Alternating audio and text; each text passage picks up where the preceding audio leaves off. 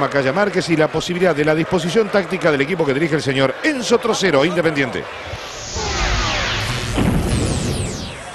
Y si bien todo depende, como siempre, de estos señores, de los jugadores, aquí nos vamos a encontrar con dos esquemas casi idénticos, ¿no? Pontiroli, Ramírez, Pena, Milito, Díaz, los cuatro del fondo por Independiente, Cassini, un volante de contención, Saralegui por la derecha, por la izquierda aparecerá Cambiazo, Garnero, libre delante de estos tres, Calderón y Guerrero serán los dos hombres de punta en el equipo dirigido por Trocero.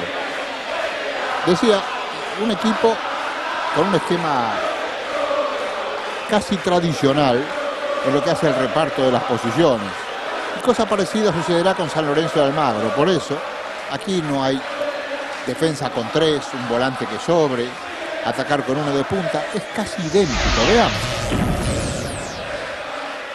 Campañolo será el arquero, una línea de cuatro con Tuccio, Ameli, Córdoba y Morel Rodríguez. Usted podrá pensar, bueno, Morel Rodríguez va a ir a volantear. Por allí sí, sí, sí, acepta el verbo. Bueno, vimos a Michelini, a Pusineri. En la izquierda tenemos a Neto. Tiene característica un poco más defensiva. Romagnoli suelto, como Garnero lo estaba en Independiente. Y Esteves, junto con López, los dos atacantes de punta, como habíamos visto a Calderón en Independiente, junto con Guerrero. La orden para Córdoba. Iván Ramiro. De San Lorenzo del Magro a los 12. Iván Ramiro, Córdoba. San Lorenzo 1, Independiente 0. Allí está Pusineri, Pusineri, Pusineri. Solo Bebaco, Bebaco asegura gol. Gol de San Lorenzo del Magro sobre el final del partido. Asegura Julio Maxi Bebacua. San Lorenzo del Magro 2, Independiente 0.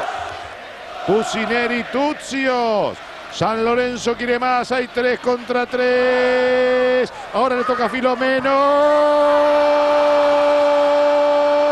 De San Lorenzo del Magro. Termina el partido, termina la jugada, termina en gol. Lo hizo Lucio Filomeno. San Lorenzo del Magro 3, Independiente 0.